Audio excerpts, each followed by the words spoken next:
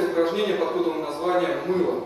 Э, ваша задача э, по принципу мыла, когда вы моете руки, как оно постоянно пытается выскользнуть из рук, то же самое выскользнуть из партнеров, которые вас сжимают плотным кольцом.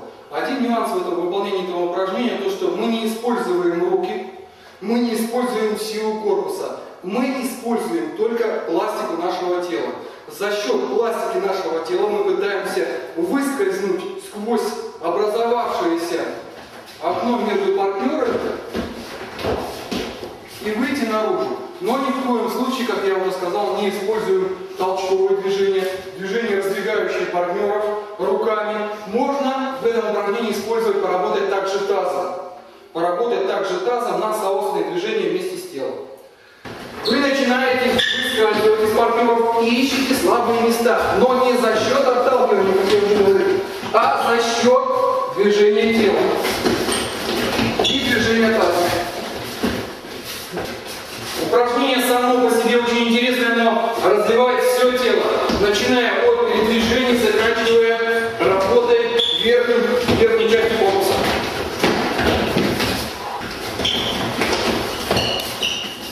Теперь мои курсанты продемонстрируют, а, как они видят понимание э, этого упражнения.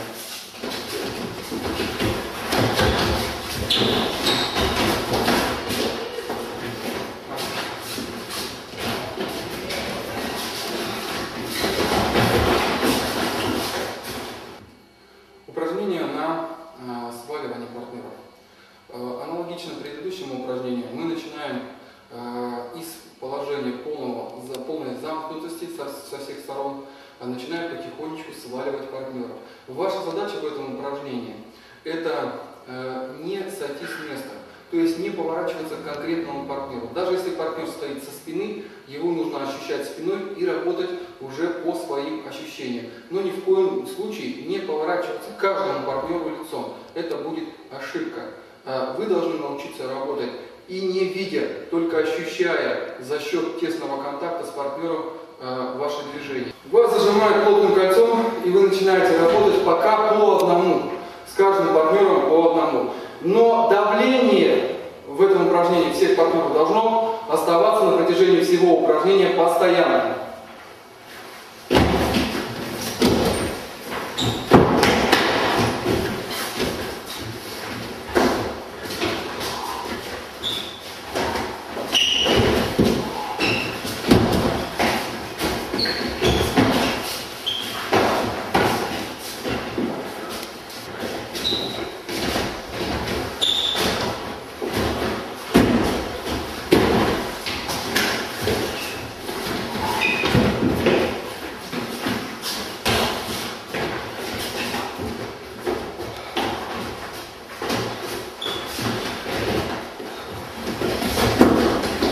Давление остается постоянным, я работаю на контакт.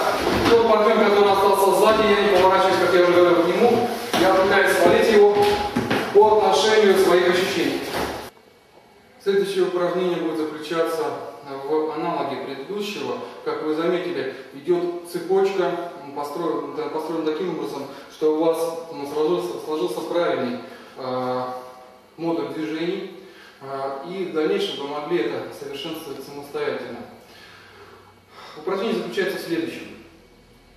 Партнеры начинают также сжимать вас плотным кольцом, но теперь уже свобода передвижений полная. Основная ошибка, а, хотелось бы именно отметить а, сначала ошибку, чтобы она не допускалась, является то, что вы начинаете завязывать в одном партнере. А, еще один момент. Партнеры в этой работе не обязательно должны у вас падать. А, то есть, опять же, ошибочное мнение, что а, партнер должен упасть. Не всегда это происходит в реальной рукопашной схватке. Поэтому даже если партнеры не упали у вас, ничего страшного в этом не случится. Главное, чтобы вы постоянно работали, были в движении и были цельными.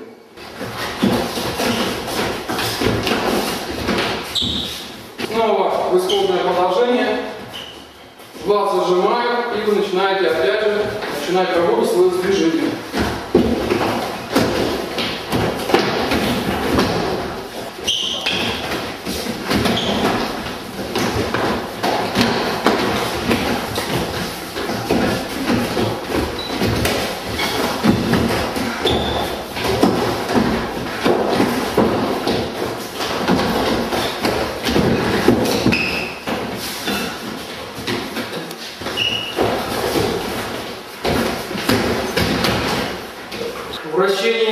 должно, как я уже говорил, по принципу ИЛы.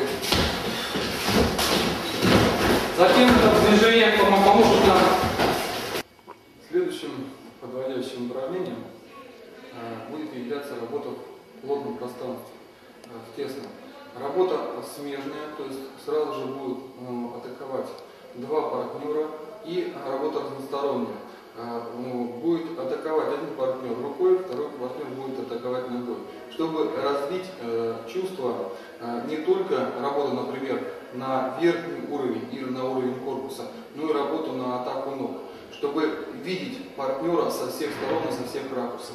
Атака должна быть обязательно э, разносторонняя и одновременная, чтобы привыкнуть к получению удара и принятию удара с разных сторон одновременно, а не по очереди, как это часто практикуется э, в некоторых стилях боевых искусств. Партнеры становятся по четырем, по четырем сторонам, э, впереди, позади, справа, слева от вас, и начинается смежная атака. Эти партнеры работают одновременно самостоятельно, эти партнеры также работают одновременно самостоятельно.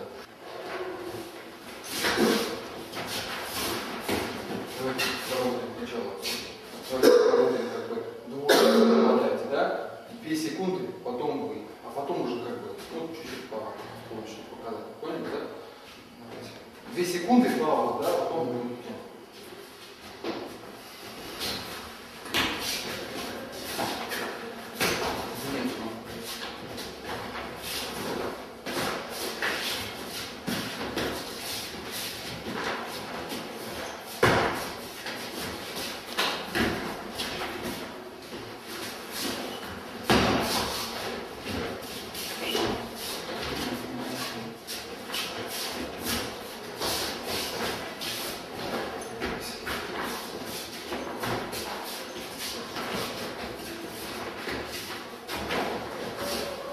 Обязательно должны идти удары одновременно, не забывайте про это. Удар должен быть одновременный, что у правого нападающего, что у левого нападающего. Чтобы вам поработать со сходящимися силами одновременными.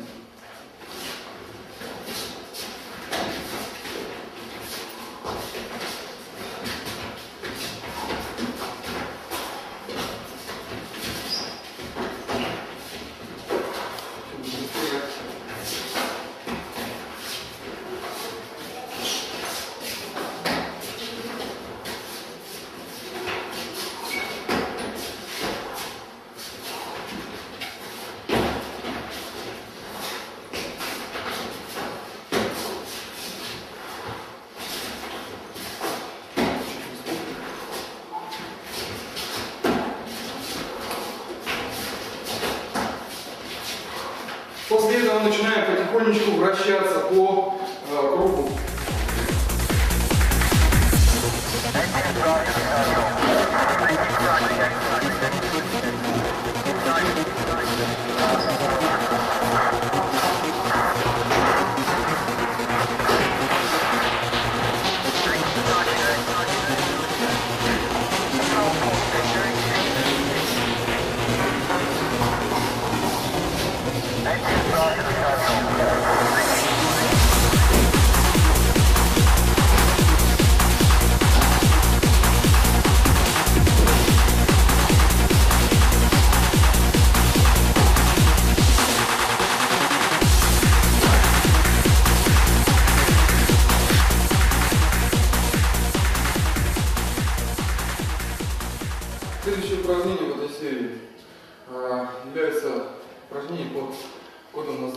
Качели.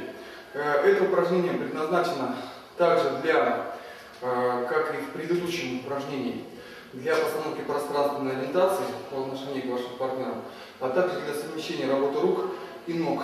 Но опять же, нельзя воспринимать его приемно, потому что у кого-то будет удар короче, у кого-то он будет длиннее, у кого-то он будет боковой, у кого-то он будет прямой.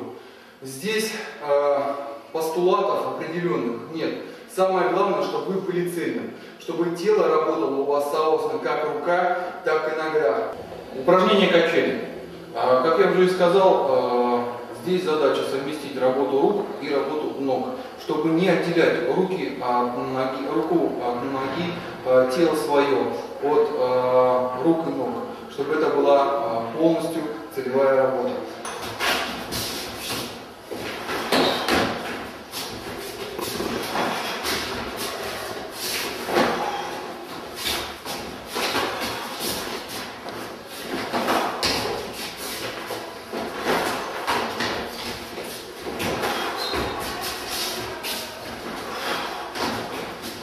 Как вы видите, удар ноги может наноситься как в коленный сустав, так и в корпус, но выше э, пояса он не должен подниматься. Это удары э, бессмысленные, потому что в реальном групповом бою, в реальном бою, где работают 3-5 партнеров, вам некогда будет задирать ноги.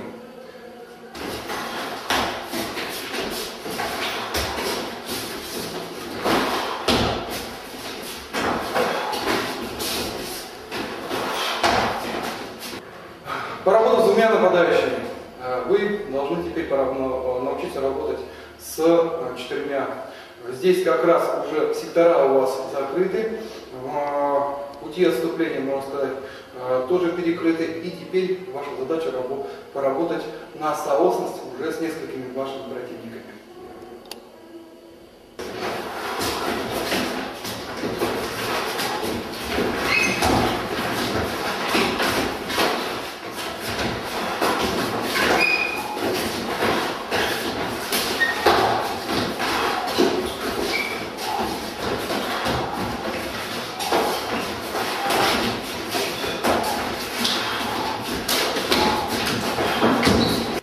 Теперь мы как бы подводим черту, подытоживаем э, небольшой блок по бою с несколькими партнерами.